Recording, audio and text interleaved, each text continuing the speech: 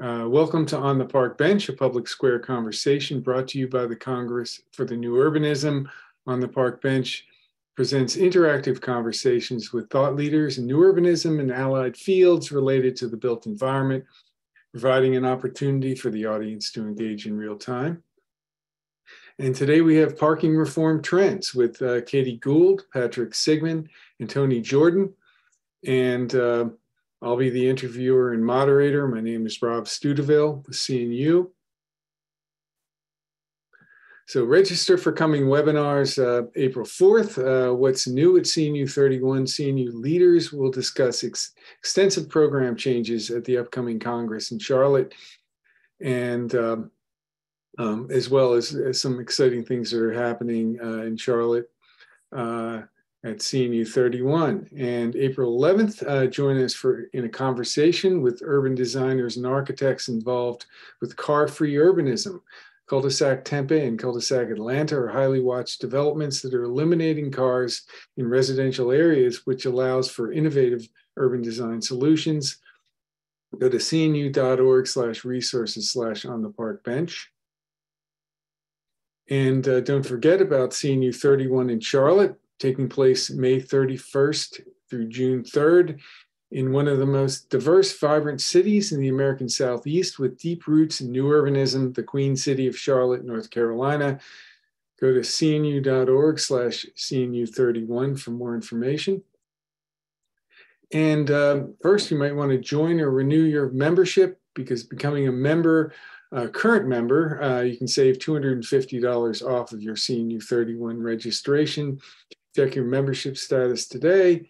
Um, it'll pay for your membership, members.cnu.org slash memberships. And we have a great program today. Uh, Catie Gould is a researcher with the Sightline Institute writing about climate and transportation policy. She recently wrote a paper for the Lincoln Institute of Land Planning called Shifting Gears Why Communities Are Eliminating Off Street Parking Requirements and What Comes Next, which was republished on Public Square um, in a popular series of articles. And Patrick Siegman is a transportation planner and economist and founder of Siegman and Associates. He has the transportation, um, he has led the transportation component of more than 70 citywide neighborhood, district, and campus plans. His career has had a particular focus on parking and he was one of the earliest proponents of parking policy reform at CNU. Tony Jordan is president and co-founder of the Parking Reform Network, a worldwide membership organization that includes elected officials, researchers, planners, and activists. I'm Rob Steuteville, editor of CNU's Public Square. Today's discussion is all about parking reform and why it is gaining momentum nationwide at various levels of government. Uh, first, there's going to be presentations followed by a discussion among the panelists and then Q&A from the audience. And we expect a lively discussion. So please use the Q&A function of Zoom uh, to ask your questions as they occur to you. And now I'm going to pass this along to Catie. All right, let's get going here. All right, uh, my name is Catie Gould. I'm a senior transportation researcher with Sightline, and uh, we're talking about the end of parking mandates. Very exciting topic today. Um, first, in case you got uh, into this room by accident, what's a parking mandate, otherwise known as a minimum parking requirement? Um, pretty much since the 1950s, nearly every building in North America, whether it's new or remodeled, has been required by local governments to have a certain number of off-street parking spaces. And the idea initially was, right, that if there's enough, if there's parking for every car, there's going to be no parking problems. And these rules have been really successful in one way. Uh, we've built a lot of parking spots. Uh, researchers estimate that in the United States, there's somewhere between three and seven parking spots for every vehicle. Uh, but these regulations have not been effective at managing on-street parking, and they make a, a, whole host of worse problems, including suburban sprawl, urban heat islands, um, tons of impervious surface. Um, it makes new homes and businesses more costly to build, and it really makes it hard to give old buildings new life.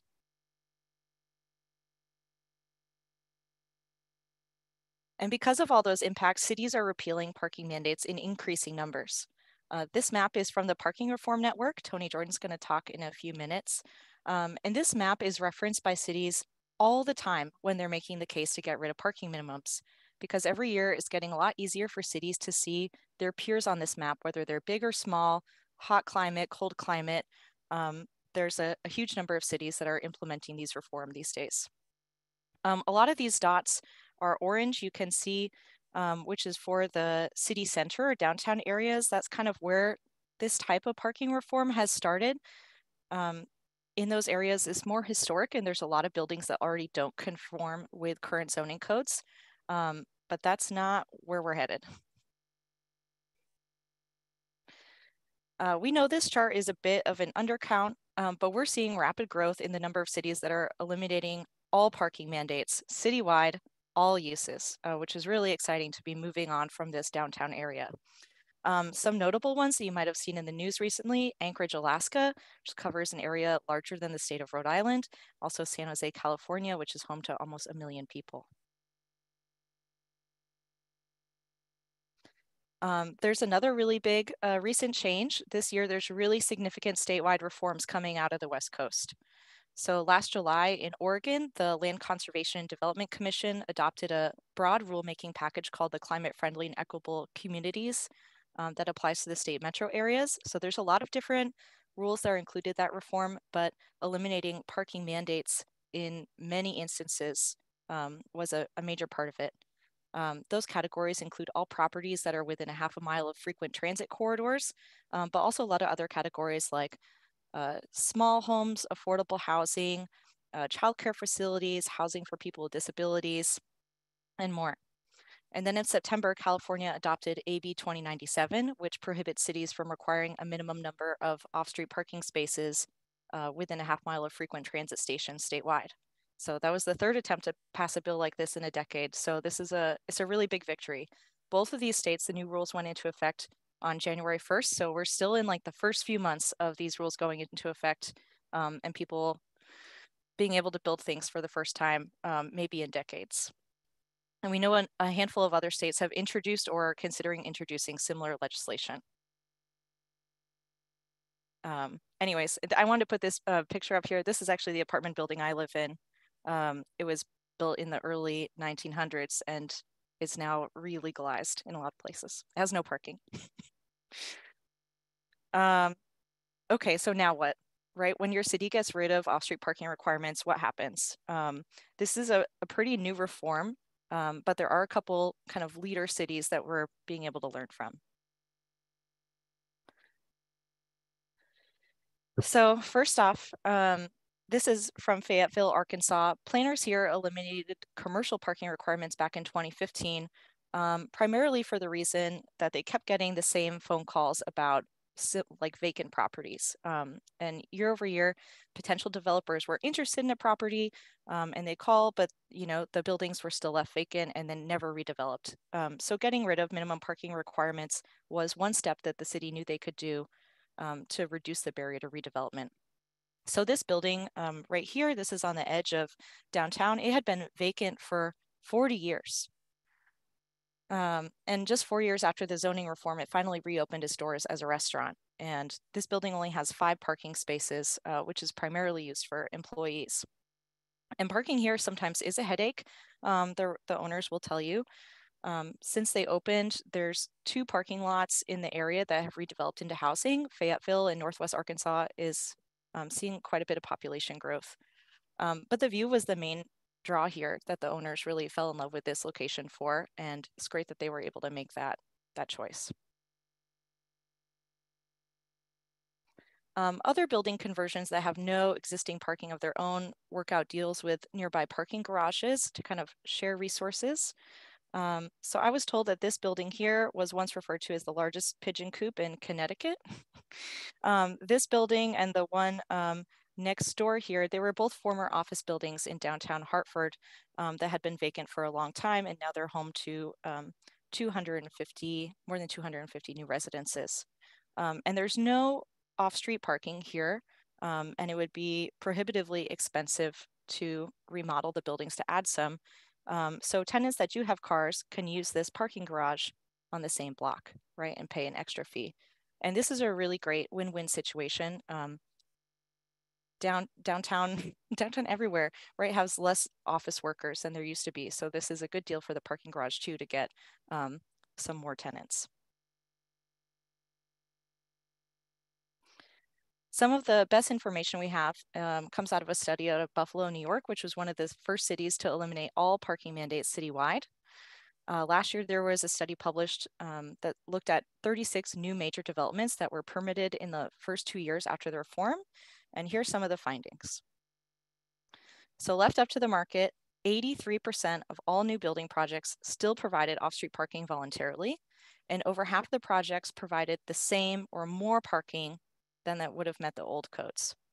So um, it's a fraction of new buildings that are using the new flexibility, but it does make a big impact. Overall, the market built 20% fewer parking spaces that would have been re required under the old codes. Um, and there's no doubt that mixed use buildings saw the, the most benefits of this new flexibility. And typically when projects have housing and businesses together, parking requirements are additive. So you have to meet the requirement for every use that you have in the building, um, even though in reality, the parking gets very busy at different times of day. Um, and the parking requirements in total can be quite high um, when you add them all together.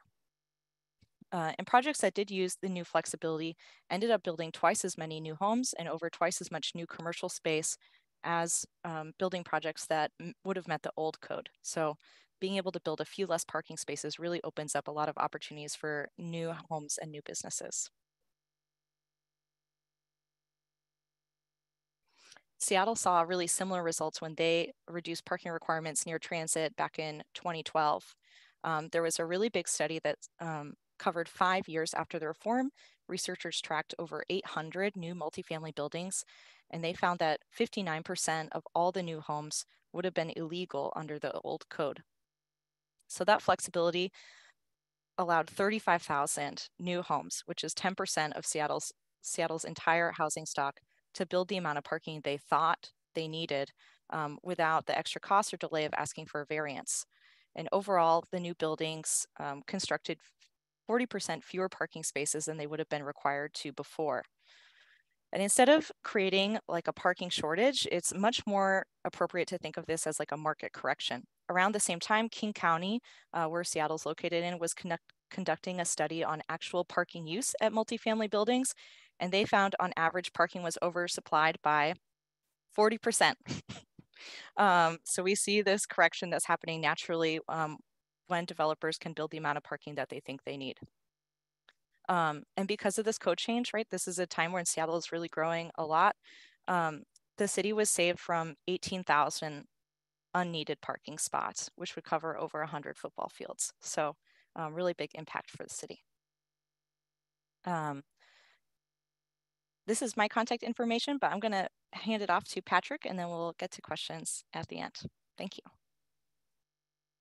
All right. Well, hi all. Can you hear me? Okay, great. Well, thank you. It's a pleasure to be here. And um, I'm really looking forward to your questions today, so I will try to be brief. But to begin, let me mention a couple of things. First of all, if you're a parking consultant like me um, or a transportation planner like me, you may be worried, what are you gonna do in life for money when you are no longer hired by developers who need relief from excessive minimum parking requirements? Well, there's good news. And that is there's a lifetime's work of work to be done managing curb parking, which is an underdeveloped skill that will be needed more and more because that's what everybody's afraid of. I'm going to share my screen and show you just a couple examples of recently implemented um, reforms. And so to begin here, um, this picture is of my hometown in Palo Alto, California. Um, my mom and dad bought their first house in Palo Alto in, um, uh, well, before I was born. Um, my dad remembers they paid about $16,000 for it. Um, and at the time, it was 10 cents an hour to park on University Avenue in downtown Palo Alto. Well, today, if I could afford that house, it would cost me $3 million and it's free to park downtown. So in the space of a generation, we've completely solved our affordable housing problem for our cars. Now, I think that's backwards. But what happens if you say, let's make it legal again to build something like this beautiful building by Pedro de Lemos? Um, and people say, oh my God, the parking will become overcrowded on the street. People will double park, they'll drive in circles, it'll be a disaster. Well, fortunately, UCLA professor Donald Shoup has proposed three reforms, and cities all over the country and all around the world are beginning to adopt them. Um, and they are first, charge the right prices for curb parking, by which he means charge the lowest price that will get you one or two available spaces on every block most of the time. Oh, and charge the lowest price that will achieve that goal. Second, return the parking revenue generated to the blocks where it's created to pay for public services. And that helps make this politically popular. And then third, you can remove minimum parking regulations. Well, this is certainly one way. I want to point out, though, that um, there's another way that actually is also very effective. Um, the Code of Hammurabi, the ancient um, first law code that we found, uh, it prohibits stationing chariots in the street, um, and the penalty was death. So this completely eliminates repeat offenders. It's very good. Um, but I know some of you are softies, so this is a little less of a law and order approach. In Berkeley, the liberals there are, are charging the right prices for curb parking. Berkeley charges the lowest rate needed to achieve their mandated occupancy goal, which is 65 to 80% occupancy on each block. Um, rates are now 50 cents to four bucks an hour. I checked yesterday. Um, here's the map. You could see that in the heart of downtown, the prices are highest in front of the busiest restaurants and blocks. And on the streets where demand is much lower and things are less popular, it's only 50 cents an hour and it varies in between. Um, I helped create this program uh, with a study that back in 2011, 2013, it went into effect. There isn't a formal policy re returning the revenue, um, but the meters uh, do in fact help fund public services for the downtown blocks. And uh, it includes security in the form of downtown ambassadors um, who walk the street, keep an eye on things, help out visitors. It includes cleaning, street sweeping, sidewalk steam cleaning, help for the homeless, helps fund parking. Um, and this was actually an informal deal in that the city said, look, merchants, if you agree to let us increase meter uh, rates, we will agree to join the downtown uh, new property-based business improvement district, um, and our we'll be paying our uh, a fee for every downtown building the city owns, which is a lot of property. Um, the um, enforcement in Berkeley has been eased by modern technologies, and many cities are adopting these. So, for example, every parking enforcement vehicle is equipped with license plate readers. You can see the uh, cameras there, license plate recognition system cameras. Um, so now in the residential parking permit areas in the city, your license plate serves as your virtual parking permit and you don't need to you know go down to city hall and get a plastic bumper sticker and stick it on your car every year. Um, similarly they are able to use these cameras to enforce time limits to check permits um, to, to check um, actually meter compliance. The um, other thing that the city is intending to do, and I'm not sure if they've got it up and running yet, is since the uh, vehicles are counting license plates on each block, it's not hard for them to measure occupancy. And they want to start generating automatic maps of occupancy. Now, the other way that cities are doing this is using their wirelessly network parking meters. They're measuring occupancy um, or estimating occupancy based on revenue data, right? If people are paying a lot, you know that occupancy is pretty high. Um, the results, well, one year after the program went into effect, uh, scholars at UC Berkeley and elsewhere studied the program carefully using um, federal funding. They found that finding parking had gotten much easier according to most drivers surveyed. Um, fewer people are parking on the street, more are parking in the formerly underused city garages and lots. And there's so much less circling for underpriced curb parking that there's 693,000 fewer vehicle miles of travel per year just because people are no longer driving in circles searching for free curb parking. A surprising amount of traffic in our downtowns consists of people who, um, you know, frankly, they're not going anywhere. They've already arrived. They're just looking for a bargain. San Francisco, I will skip over, but they have a similar program that has delivered great results. And the one thing I will say is San Francisco's demand-based pricing has resulted in a 35% increase in sales tax revenue in the seven pilot program areas compared to less than a 20% increase in the areas where the old fixed price meters were left in place. So if um, businesses are afraid they'll make too much money and you know are really afraid of that, don't do demand-based pricing. Managing curb parking in residential areas. You know, a lot of us would like to make it legal once again to build the kind of beautiful historic California architecture like this lovely fourplex in Pasadena, which is beautiful in part because it's not marred by minimum parking requirements converting all that green into asphalt. Well, it's got no off-street parking. If you propose this today, people would worry about overcrowded curbs. So if you want to restore the practice of building missing middle housing, as Dan Parolek calls it, and and allow once again duplexes and courtyard apartments and bungalow courts and small apartment buildings in single family neighborhoods, you need to learn how to manage curb parking well. So first, don't do what Boston did. Boston, like a lot of cities, set up their policy, said, we're just going to give everybody free residential permits up to X permits per household. They gave out 3,933 residential permits for the Beacon Hill neighborhood. Years later, somebody counted and discovered the neighborhood only has 983 curb parking spaces. So of course it didn't work to prevent overcrowding. Well, by contrast, you can adopt a policy that says we're going to issue no more than one curb permit per parking curb parking space that actually legally exists. And if you're above that target now, well, you could create a waiting list for new permits until the number in circulation dwindles.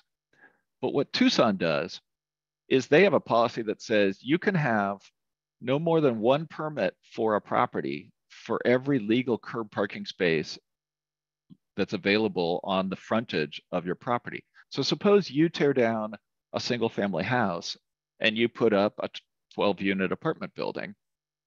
The city comes and says, well, you've got three legal curb parking spaces in front of your property. So you, the developer, building owner, can have three on-street parking permits that are good to park in the neighborhood. What if your tenants have more cars? Well, you better either voluntarily build some off-street parking if you have no you know, minimum parking regulations demanding you build more. Um, or your future tenants are going to rent some of that excess parking that's all over American cities because we've imposed minimum regulations for so long. Well, with that, um, we could talk residential parking benefit districts later, which is another great technique. But uh, in some, charge the right prices for curb parking return the revenue to the neighborhood to pay for public services, and then you can remove all your minimum parking regulations. And this works anywhere. You don't need transit. You don't need anything else. All you need to do to remove minimum parking requirements is learn how to manage curb parking. Um, and luckily, it's pretty fun. And uh, I've enjoyed doing it for many years. So, with that, let me turn things over to Tony.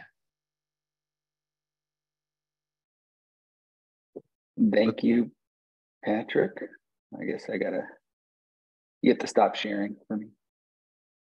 Oh.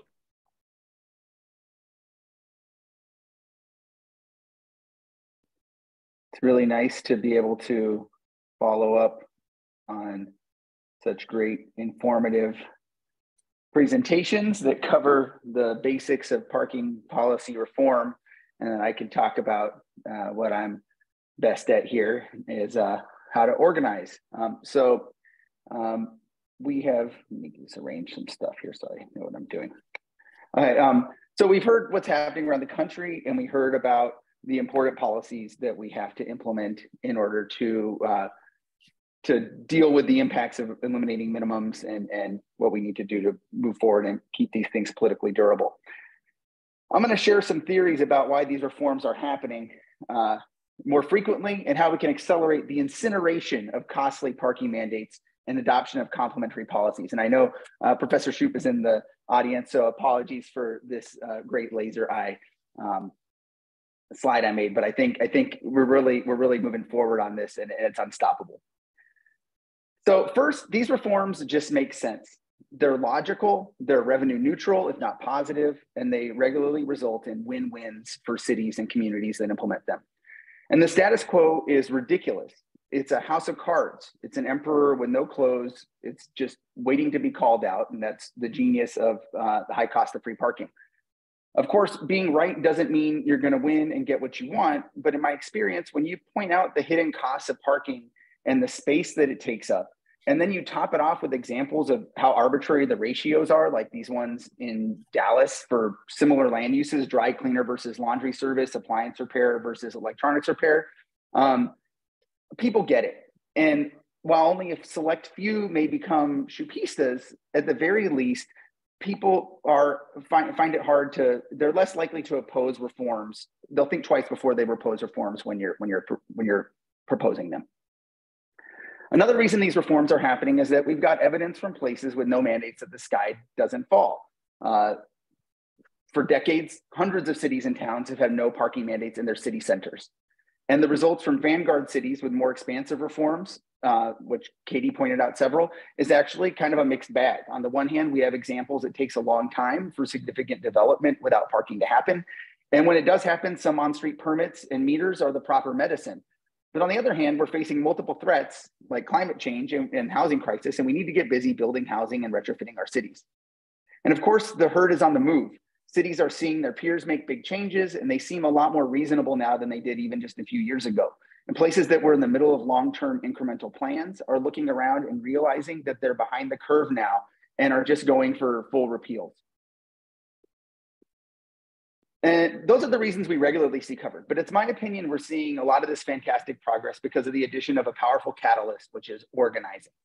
So, what is organizing? Uh, you'll find a lot of definitions, but at the core, it's the hard and gratifying work of moving people to take action for a common goal that's usually part of a longer term mission and vision.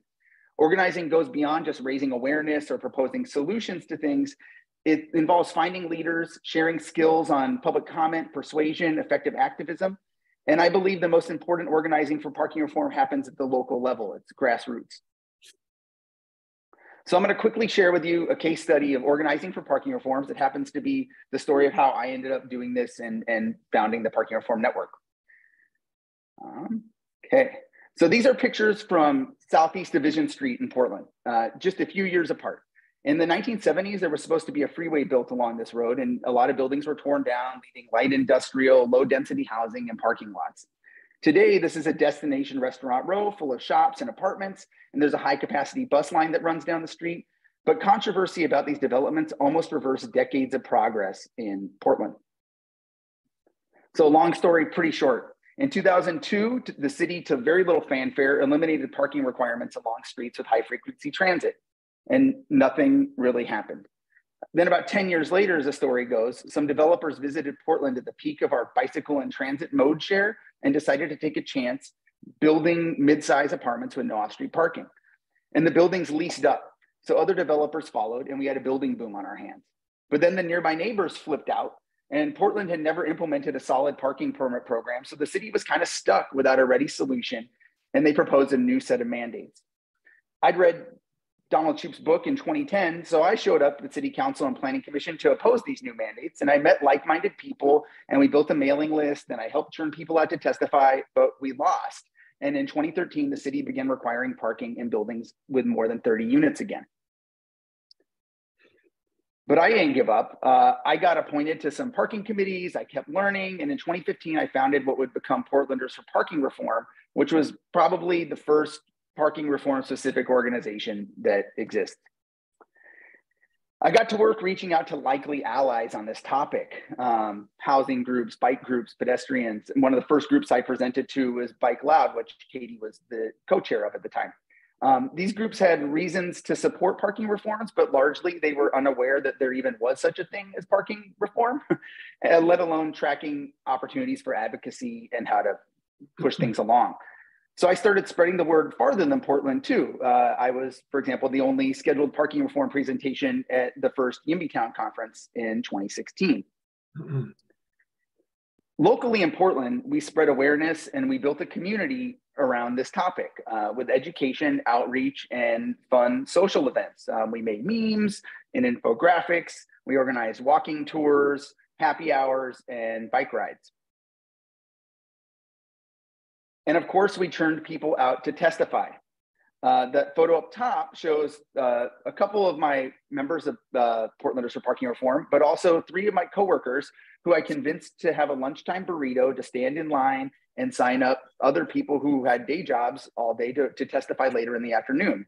Um, and similar tactics are deployed all over the country and locally here in Portland regularly to overcome the inherent inequity and difficulty in how our cities take comment on land use and transportation issues. Um, one more slide. And this worked. Um, a quick rundown, you know, we found, I founded Portlanders for Parking Reform uh, in 2015. In 2016, we averted an expansion of these of parking mandates into an area of town, Northwest Portland, that had never had them. Uh, in 2017, our comprehensive plan and inclusionary housing made park those existing parking reforms basically obsolete. Uh, we passed a performance-based parking, parking policy in 2018. In 2020, we passed our residential infill project, which legalized fourplexes with no parking citywide. In 2021, we passed a more advanced uh, policy around parking pricing. And in 2022, as Catie mentioned, we passed our statewide reforms, climate friendly and equitable cities, which has eliminated parking mandates in most of our cities near transit. And um, by the summer, dozens of Portland, Oregon cities will have no parking mandates. So to summarize, parking reform is a growth industry. It's easier than most people think, but it still takes a lot of work and we're here to help you at the Parking Reform Network. So thanks. Okay, we got a lot of great questions at Q&A um, that are being asked by the audience, but I'm going to ask a few questions uh, first. And uh, um, the first question maybe seemed like an obvious one, but Don Shoup's book, The High Cost of Free Parking, came out almost 20 years ago. Why is the parking issue getting so much traction now? And any of you can pick up on that.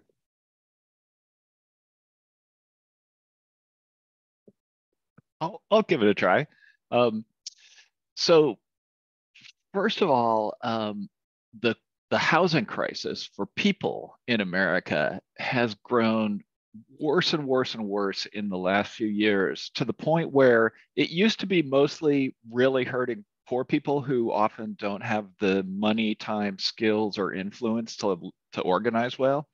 Um, a big factor is that not only have a lot of middle class people gotten hurt and started getting angry and, and becoming politically active on housing for people, but they've also been getting funding. So, for example, the YIMBYtown conference was funded by YIMBY groups. Many of those groups are well funded now, like we're talking million dollar budgets. Um, and they are noticing Professor Shoup's work and other scholars' work and just the plain logic that if you're, um, you know, creating cities that have free parking for cars, you don't have room left for reasonably affordable housing for humans.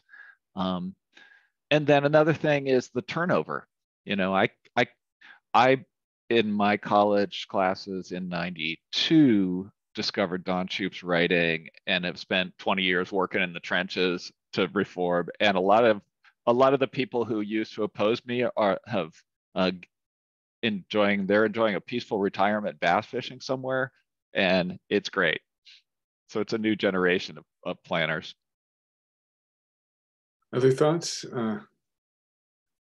Yeah, I would agree. Uh, the housing crisis is in every state now, right? I think is is much more common knowledge that we've been underbuilding uh, new homes for decades now, and we're really seeing the cost impacts of that, and there's just not enough housing options. Um, and I hear from developers all the time, right? They say when they are trying to figure out what they can build on a property, they figure out what can the property park, and then they build the amount of units that they're allowed to build based on the parking spots, right? Like that's how we've been designing our communities for decades, and it's just it has like the wrong priorities. Um, so I think when you know government officials are looking like how can we what's what's a good solution for the housing crisis and to boost housing supply? Um, getting rid of these regulations doesn't cost the city anything right? This is something that um, has a big benefit where there's going to be more homes added to your community and less red tape um, for government officials to go through in the permitting process. It's um, it's a, it's a very low hanging fruit solution. Um, so but you do, you do have to be confident that there's not going to be a parking crisis in the next year. So until recently, this uh, parking seemed to be exclusively a local issue, and now we're seeing a bunch of states taking action. And so, what has changed and why uh, politically? Tony, thoughts on this? I, I think that um, a big part of that, as I kind of alluded to, is is just the the awareness that it has it doesn't like that it, that it's possible. Seeing some some evidence from the cities that took the first steps on this i think is big. I do think that you know the the the and and to just add on the last question it's you know we have housing crisis but we also have you know an increasingly dire climate crisis and people are more aware of, of the impacts of just automobile centric development in general which i think is is providing it's not the top line issue all the time but it provides an, an energy. So i think when just the, the, these ideas are percolating up into the into the the statewide offices. And i think that also it's recognized that it's it is the cities that want to do these policies uh, can definitely use the cover and the help from from having a statewide bill. So i think to some degree there's a bit of like request or or, or de- demand from from municipalities to have some impetus to to to eliminate or, or reform their policies, take a second look at. Yeah. So I'm going to ask you to like so, sort of uh, put yourself in the position of uh, opponents. Uh, you know, there are still opponents to this. Um, what are the most effective arguments um, you hear against parking reform, um, and how can they be answered? Uh, Patrick. So opponents can take advantage of the fact that even most college graduates in America are not required to take an economics class.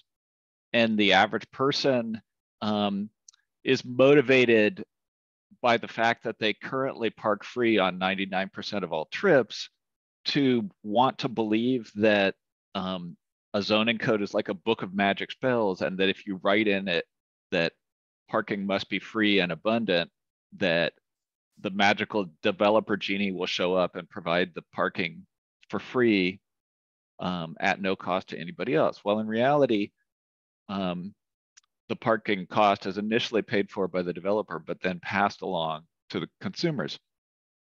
Since most people don't own, know that, it's really easy for opponents to claim that the developer just pays for the cost of all the parking requirements, and that if you remove the requirements, they're getting, you know, the developer is getting away with something. Well, that's been a pretty effective argument for supporters of removing minimum parking mandates like me. Um, the counter argument is that the evidence shows very clearly that, in fact, houses that, for example, don't come with on site parking rent for a lot less and sell for a lot less. So, actually, yes, while the cost to the developer goes down, the profit also goes down, you know, the sales price goes down. So it's really a give back to renters and homebuyers to remove minimum parking requirements. But for opponents, they can often effectively claim the opposite is true. I, I would argue that also there's not as much, the most effective barriers here are not so much arguments as appeals, appeals to self interest. Everyone's got cars, everyone wants to drive. The current situation doesn't work for me or appeals to um, you know this is going to impact people who are low income this is going to impact people who have disabilities so and and, and i and, and I, I make i make that distinction because usually they're not coming with evidence they're not actually arguments they're just pointing these things out as a way to slow down or, or put stumbling blocks. And and we can really look at the evidence of who owns the most cars who drives the most what access equitable access really looks like in a community and those appeals fall apart but you have to kind of be confident and and and have some some some ready-made you know evidence and, and believe in in that this is there are some trade-offs occasionally but that this is generally a, a net positive overall to be able to to push back on those those opponents. So we got a bunch of q&a um, right now. And so I might as well just dive right into that because I think that's most interesting. But uh, uh, the first one that was asked, uh, uh what do you guys think about uh, getting rid of off-street parking requirements for only affordable housing developments or housing for folks with disabilities? Does keeping them in place only for market rate housing create some strange equity dynamics? And um, I think that's an interesting question. Um, who wants to take a stab at that? I'd love to. There are, I would say, um, in my experience of like, what are the buildings that, or the developments that that come forth in the years right after a parking form that are like really raring to go that parking really made a huge difference for that building we do see um, a few categories of redevelopment that seem to happen over and over again in different cities and that is affordable housing housing for people with disabilities um, reuse of historic buildings and or also like buildings that are near transit, right? Those are kind of categories where people have a slightly lower rate of car ownership than average um, because of lower incomes or people are unable to drive. Um, but this is really a, also a political question. Parking mandates don't make sense anywhere. Um, holding every apartment building in your city to build the exactly the same minimum number of parking spots um, doesn't make sense no matter where you are. You're going to be hurting someone and you're going to be reducing the number of apartments being built in your city. Absolutely. So this is really about the politics, right? If if the the politics aren't there to get rid of all parking mandates citywide, this is kind of an intermediate step that people take that um, people who are concerned about a lack of parking maybe can get behind, right, for certain categories, but it is kind of a partial step. Um, but those are the categories that um, definitely will will utilize the flexibility in the rules for sure. So we have a question about the economic um, advantages of um, uh, uh, reduction in uh, off-street parking, um, both for, uh, I think, in the macro sense for the city as a whole, um, in terms of greater value of, of uh, buildings versus parking lots, but also uh, what is the uh, what is the personal income, uh, pot the potential advantages of getting rid of mi minimum parking requirements? Um, Patrick, as the economist? Sure, sure. Uh, so it it varies a great deal from place to place. Um, basically, minimum parking regulations do the most damage in the places where land values are the highest. So they um, because that's where people are really motivated to reduce um, the the amount of parking they build by the fact that it's very expensive to buy a lot of surface land and also very expensive to go above ground with structures or below ground with with um, uh, spaces. The um, so the, the answer varies a great deal from place to place. For evidence on this topic, I really recommend many of the studies that are summarized in books like, oh, for example, Parking in the City, which Donald Shoup edited. I wrote a chapter for um, also the high cost of free parking. So for example, on the topic of housing, um, one recent study found that requiring a single enclosed parking space adds about 17% to the average apartments or the average homes rent in the United States. That's nationwide, a single space. So if you can save if that by renting a space without, um, I mean, renting a, an apartment without a parking space bundled with it, you can save 17% on rent on average across the United States. That's amazing. Um, here is an interesting qu question. Uh, given that streets are public space, which also have a high opportunity cost for other uses, such as cycling uh, infrastructure, bus, uh, bus lanes, loading zones, et cetera, et cetera, is it really wise to favor on-street parking over off-street parking options? Um, Catie, Tony, I I would say that no, I mean no. you know, obviously we should use part of part of the the one I think the better things about when you start to work on parking reform is you do start to see what the other uses. You once you start looking at the curb as a valuable space and not just a, a storage space for vehicles, um, and you think about that it and you you recognize its value in places where it is in high demand. You can start to actually more effectively figure out what the best use is for that space. COVID, of course, opened up a lot of people's eyes to the fact that the curb could be more than just a place to park a car. Um, but I, th- I think that that part of part of the nice thing when you're doing, for example, these performance-based parking or demand-based parking uh, management that Patrick described, it makes it more possible to remove, for example, a, a, a section of street for a bike lane or a bus lane, remove parking from an area because then the the demand that overflows to the adjacent spaces increases the value of those spaces. So the city doesn't necessarily lose the revenue it might be using for for um, from that from that from that parking. And it also kind of just it, it self manages the the system. So i think clearly yeah definitely these reforms help to expose the highest use of the the curb. I think some of the confusion may be that that uh, on-street parking spaces are not mandated. They're there or they're not there. Yep. Um, whereas the off-street ones were in fact mandated by law to be created. Um, but I, I took that question to, to say that, uh, you know, if you, uh, if you eliminate the off-street ones, the demand's going to go up for the on-street parking. Um, uh, and um, well, in any event, that was a good answer.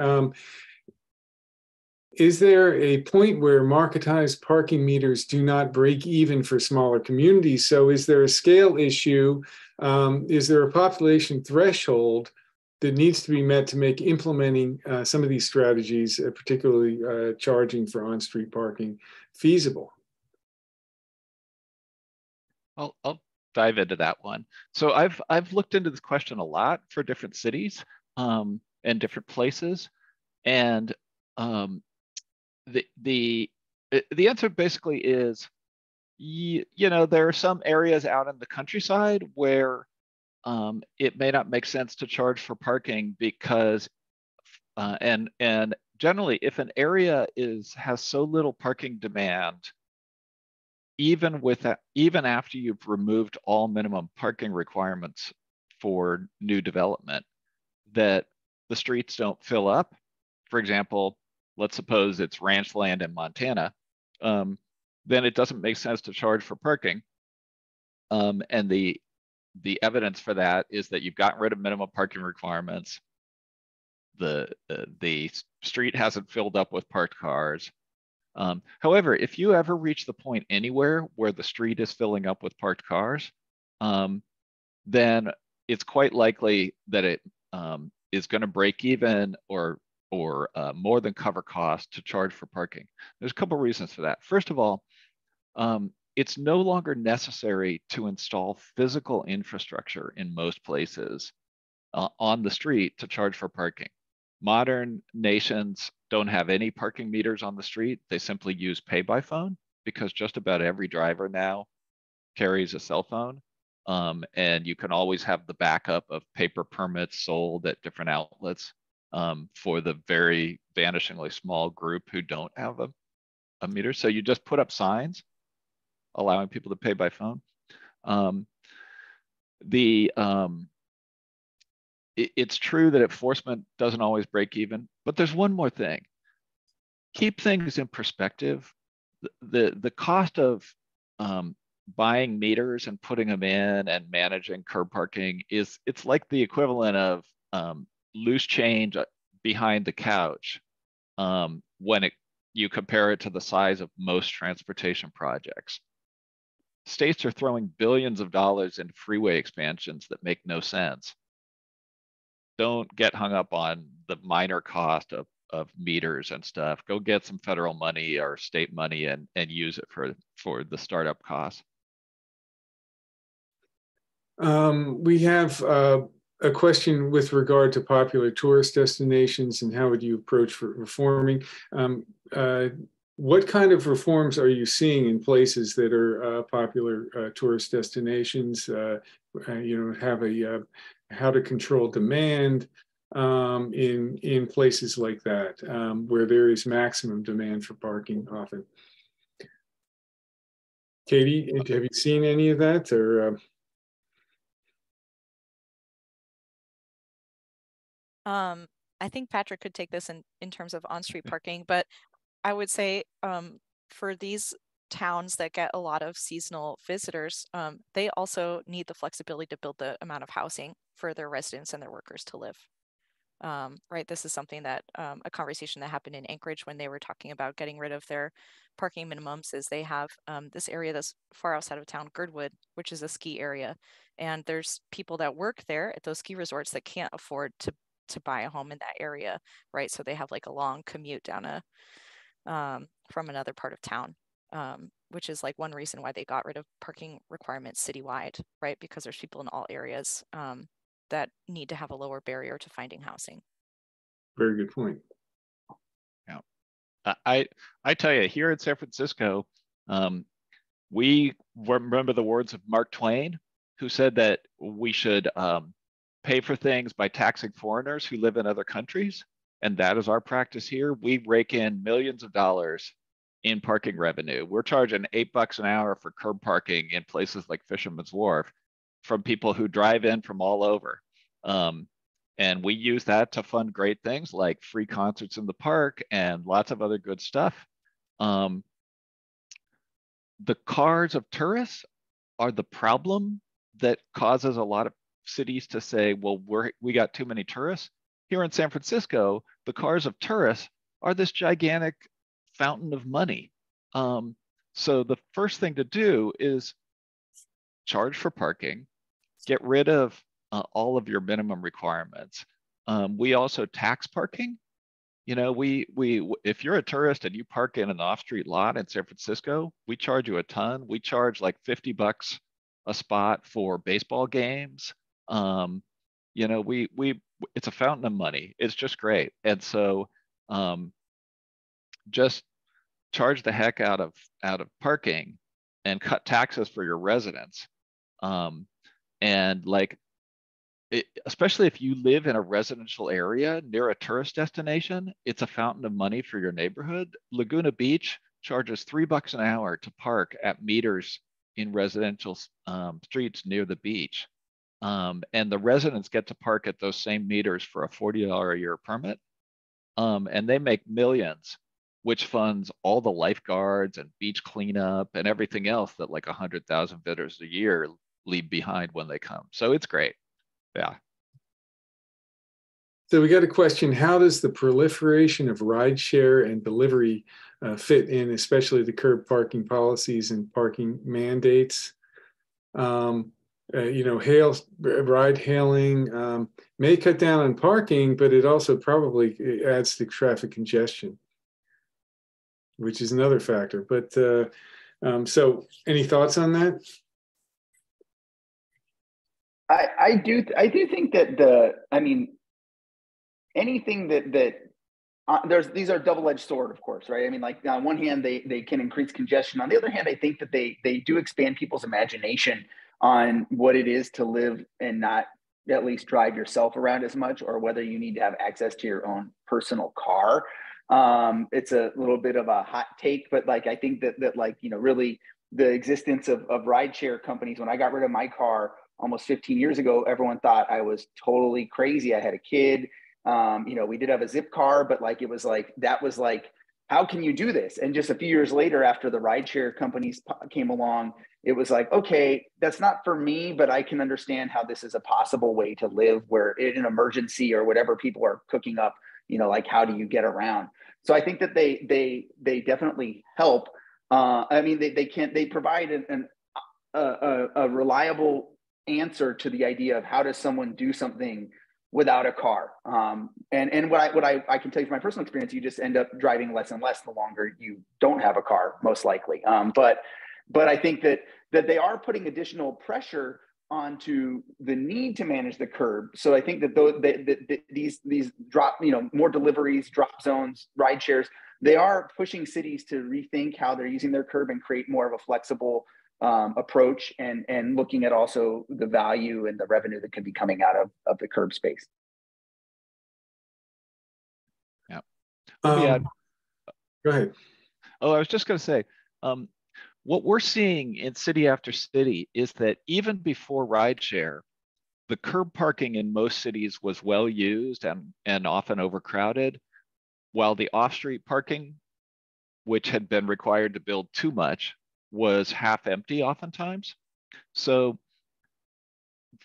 rideshare and other options have exacerbated that. Now there's even more competition for the thin fringe of curb parking spaces um, or loading areas, and the off-street garages are even emptier, like substantially emptier. So San Francisco has done a couple good things. They have um, instituted the tax on every um, pickup and drop off that occurs in the city by ride sharing agencies to help offset the congestion. And second, at places like um, San Francisco Airport, they've started converting some off-street areas into dedicated rideshare pickup and drop-off zones, like an entire level of garage at San Francisco Airport. Um, we have a uh, a comment on on uh, the complexity of managing curbside parking in residential blocks near commercial zones. This is sort of often the flashpoint of uh, park, parking requirements. Uh, and um, um, how, how do you deal with that? I think it's important in these conversations to point out that they're getting rid of parking mandates isn't going to bring a lot of like new buildings to your neighborhood that's going to destroy your neighborhood. Uh, in your community, there are already lots of buildings that exist that could not possibly meet today's zoning code. And that if something terrible happened to like the street or the neighborhood you live on and it had to be rebuilt to today's code, is going to be much more spread out and require much more parking than is probably there existing today. And I think that's a really important point for people to to talk about when they're because you know a lot of people if you haven't heard of a parking mandate you hear we're going to get rid of this parking regulation and you think oh my gosh that means there's going to be less parking than now. Um, but in reality, there could be a, a, similar amount, right? Parking could be built at the same rate that already exists in your neighborhood. Um, so that I think is like an important point to bring up that there's lots of buildings that are likely beloved by your community and that you wouldn't want torn down, um, but that don't have enough parking spots to meet what's in the code. And I think those are really good examples to bring up when we're having these conversations about regulatory reform. I think this issue also gets to the, um, you know, the parking scarcity, uh, like particular blocks where there is parking scarcity, where people are, are going to avoid the parking meters and then they're parking in residential zones. Um, how do you deal with that? You know, when when we um, are presenting to audiences about this kind of situation, often where a new development is proposed near a residential neighborhood, I usually present a toolkit of strategies, and the first thing I do is talk about the importance of protecting residential neighborhoods from spillover parking. And I present a, a toolkit of options.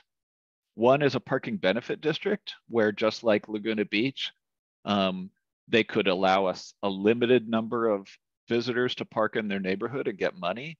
Another option I present is what I did when I set up uh, this uh, at Stanford, which was a residential permit zone for the faculty neighborhood where non-residents are simply not allowed, only residents and their guests who have guest permits.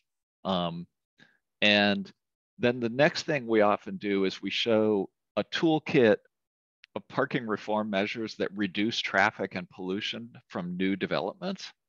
And most of those are things like, hey, let's require the unbundling of parking costs from rents at new apartments in the district. Here's the evidence showing that this will cut traffic in half and vehicle ownership in half from those new apartments. Now, it, we can only do this if we protect you with a residential permit zone. Would you like a residential permit zone? And everybody's like, oh yeah, we'd love one. So at least many reasonable people are that way. And usually we can get durable majority support for managing the curb parking with one of those tools. So we've passed the hour point, and I will point out to people that in in uh, tomorrow we will uh, post this video. Uh, so if you have to go, um, you can see um, we're going to probably continue answering questions for uh, for a little bit longer, um, and uh, you can go check out the video if you have to leave now. Um, so uh, Okay, there's a question about the fire department requirements for 20 foot clear zones uh, when retrofitting suburban streets. Uh, we usually want to have these streets um, have street trees and sidewalks, and that leaves a tight amount of space for vehicle storage. Um, any thoughts on that? Uh, there's a, there's a great report from the National Association of City Transportation Officials and another really good report from the Congress for the New Urbanisms Emergency Response Initiative, which I co-led. And the NACTO report basically is a report on buying trucks that fit the kind of cities you want to have rather than, and basically buying vehicles, large vehicles that fit the kind of cities you want to have. Um, in most of the civilized world, they use fire engines that fit and work fine and operate perfectly on streets that have only 10 to 12 feet of clear width between parked cars. For example, the hoses attach at the rear of the fire engine when you're pumping water instead of on the sides like American trucks. So the first thing is spend a little money to get some vehicles that actually fit the city you want. Um, absent that, um, if you set parking prices or curb parking permits at a level that leaves some some spaces between parked cars, um, you know that that say you bring occupancy down to oh maybe you decide 60% is what you want on that street um, then that's another way to make sure there's ample gaps. But frankly you know if you've got front facing driveways a third of the street is probably driveways anyway. So um, there's probably plenty of room for people to pull over and let cars pass. Um, let's see. I mean, there's a question having to do with uh, parking management programs, which ones are most effective because um, you uh, when you're when you're eliminating the parking requirements uh, minimum you know minimum uh, off-street parking requirements you have to have parking management in place generally. And uh, i think you've you've you already talked about this to a degree patrick but any other thoughts on parking management programs? One I thing mean, i was i'm sorry go ahead Catie. I was going to say, I have one to add. Um, you know, a lot of times we talk about this, we think about big cities that are already really busy. Um, there's a lot of cars parked at the curb, but a lot of the cities that have eliminated parking minimums are really small towns that maybe don't have a parking meter, don't have bus service. There is not an immediate need for curb management like the year after you eliminate parking minimums. It's really good to have those tools, right? Um, to kind of assuage people's worries that we can manage the parking supply and there's not going to be a crisis and a shortage of of parking available for you.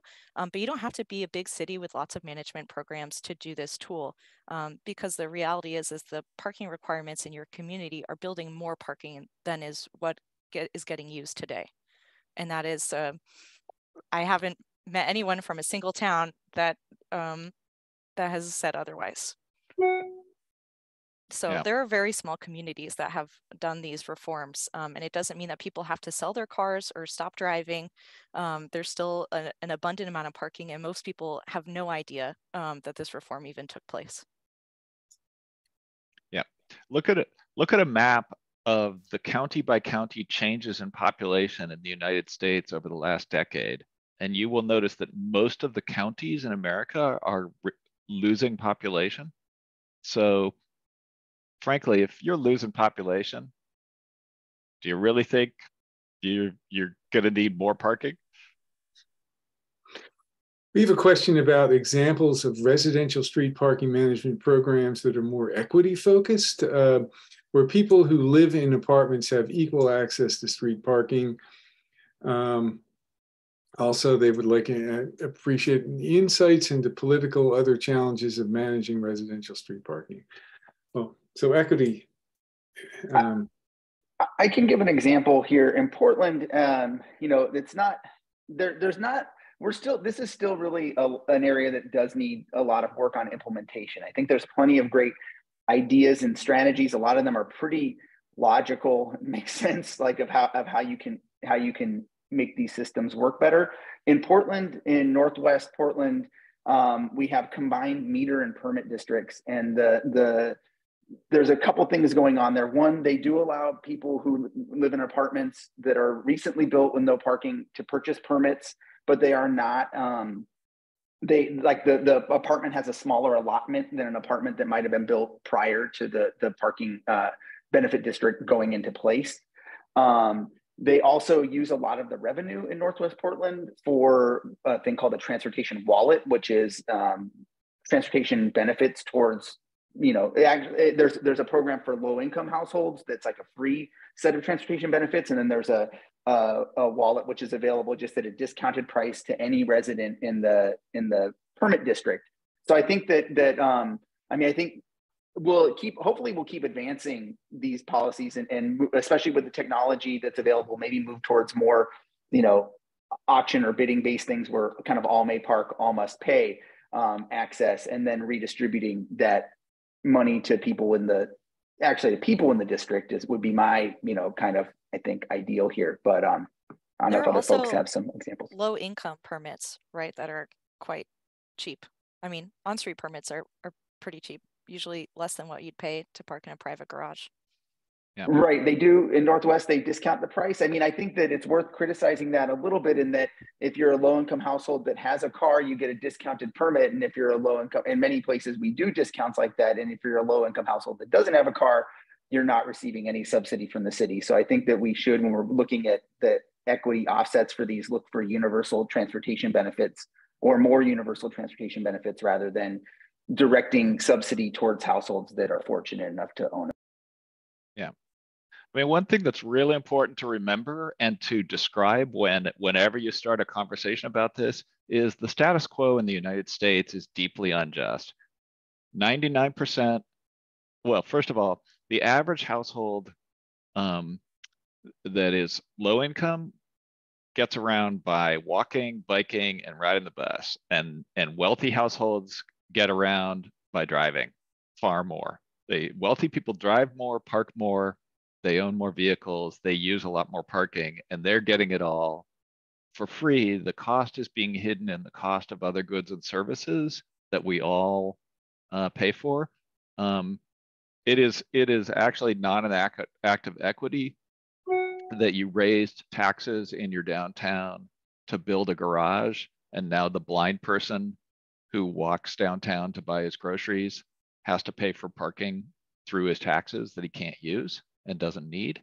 Um, so it, I often find it useful to examine the city budget to see how much money is going into the status quo of paying for all that parking.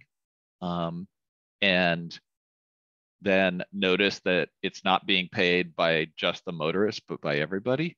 Um, the um, another uh, you know another thing is to show all the research on your city's minimum parking mandates are driving up rents and home prices and pushing some people into homelessness because the rents are more expensive.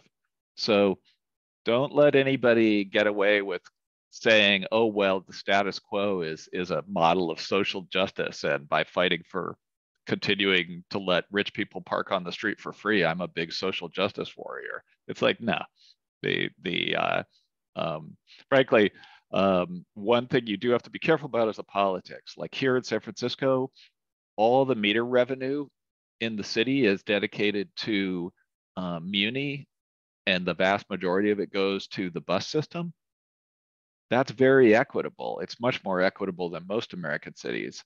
The problem is all those low income muni riders are not a strong political force that is well organized to go demand more curb parking charges to fund better bus service. So you the the revenue return to the neighborhoods that Don Shoup recommends is politically really savvy. Um, and I think it's also often much more equitable. But keeping you got to balance both these things or you get done nothing done. There's a question about the correlation between parking um, minimum uh, elimination or rollback and acceptance and areas that have um, robust public transportation.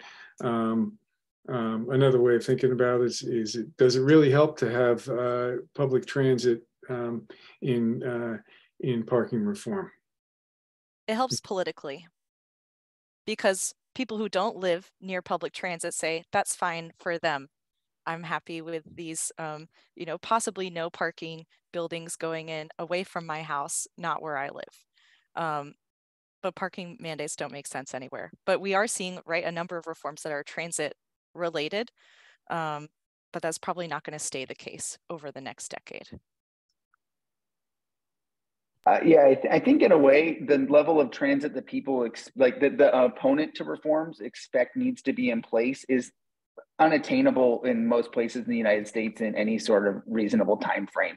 Um, and I think that that it's useful to I, and I and I think it's also you know we have to really think about there's a lot of thought, talk about transit oriented development or why we put these things on corridors but i think you got to recognize that when you're building a parking space you're betting against transit you're betting against walkability you're betting against all these things in that neighborhood so the best way to build out your transportation network at the very least, I would say if your city or your or your your your state or anything is looking at a transit oriented uh, reform, it's better than nothing. But try and get them at least to do um, projected transit. You know, allow the allow the exemptions on places where there's a transportation project in your regional transportation plan or something, so that you're build your so that because it takes a long time to build anything. So you want to build the things today that support the city that you want to look like tomorrow. Yeah, and this debate is happening. I mean, I'm pretty familiar with uh, Washington. There's some bills in the state legislature right now, and there's kind of this um, attitude that has like I feel like been expressed a lot of, well, the transit's not good enough for me to stop driving. Therefore, I don't think this reform makes sense. And that's fine. But there's already people that live there in your town that don't own a car or maybe just own one car, right? You can go to the census data and you can find out how many households in your city own zero or one cars. And you can look up what the parking requirements are. And once you know that a two bedroom apartment requires 1.75 parking spots, but then there's 7,000 households that don't own two cars, right? That own zero or one car. Um, these people are already not being served well with like what's legal to build for housing. And all this does is it legalizes options and it gives people more choices for what kind of place they would like to live. Um, nobody has to move into a building that doesn't have a parking spot for them if that's not what they want. Um, if you have like three children and two cars, find a place that has a parking spot you know um, so what we're really talking about is increasing the number of options um, but transit shouldn't be a barrier to this reform um, because your city doesn't have good enough transit for everyone to sell their car. That's not um, what this reform is about. Yeah. Need, need a question. Go, go ahead. Um, oh, I, I uh, you know, what we're seeing in cities around the country is that senior citizens in auto dependent areas are reaching the point where they're realizing they shouldn't be driving, or in many cases, their failing eyesight or other disabilities are making it impossible for them to drive. They don't want to leave their neighborhood and home of decades. So many senior citizens, for example, have home equity and want to build an accessory dwelling unit on their property and rent it out. I had I had one neighbor who used to rent her um, gar old garage that had been converted to an ADU to a college student. In return, the college student did yard maintenance and gave her rides to all her critical appointments, like doctor's appointments, because she couldn't drive anymore. Well, if you're a somebody who says that no, she shouldn't have been allowed to convert her garage, that she should have been forced to comply with one size fits all off-street parking requirements because she's a senior citizen in an auto dependent neighborhood. Well, she couldn't have converted their garage into the housing that created the student who gives her free rides, right?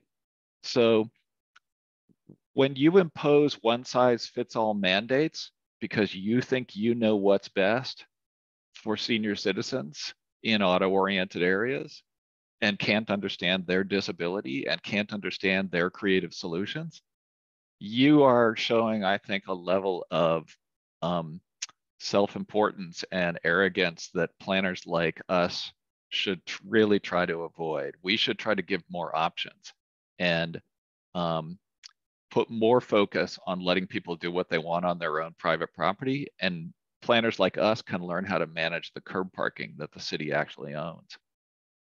Yeah. And most of the time, right, we're not talking about buildings that have zero parking at all. We're talking about um, a builder who wants to build 17 spaces instead of 23, right? We're talking about really small changes, but that requirement poses a really big barrier if the property can't support that amount of parking spaces. Okay, well, we're not really getting, we, you know, we've had so many questions, we're probably not going to get to them all. Um, um, maybe I'll ask this one. Um, uh, somebody asks, in what city um, are parking requirements most damaging, um, or maybe have been most damaging? Any nominations for that? Uh, um, is it Houston? Uh, we saw, you know, photos. Is it Hartford? Where? Where? Wow. Probably can't say, but can you? In 2013, I went to the closing meeting for my work on the East Palo Alto General Plan update. This is a historically African American city in near near my hometown of Palo Alto and Stanford um, that uh, is now um, full of families living over in overcrowded single family homes. The density of homes has been limited to avoid curb overcrowding. The city imposes strict minimum parking mandates well, they finally got, uh, I, I was surprised when I walked into the meeting because it was packed to overflowing with angry citizens. And I thought, what's going on? It turned out that the city had finally gotten funding to hire two code enforcement officers, and they had gone door to door enforcing minimum parking regulations for the first time in many years. And that meant that they were red tagging a whole bunch of houses for having families living two or three to a home illegally living in garages. Well, the city that had turned out dozens of families onto the street who were now living in things like their cars in church parking lots because they chose to prioritize housing for cars over housing for people. You know, they were focused on let's make ample free curb parking and not on how many people are going to lose their homes when we when we force people to comply with minimum parking requirements. So that is something I'll never forget. And I can't have an equity conversation about parking without thinking about the pastor and all of those families who were like, we we need homes. We need homes for our families, not not for our cars.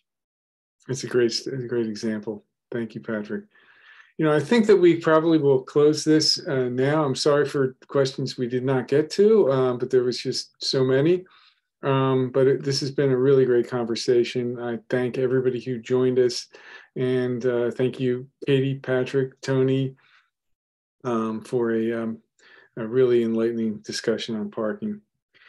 And uh, we'll see everybody uh, later on, on the park bench. All right. Thanks, Rob. Thanks for hosting us. Bye. Yeah. Take care. Thank you.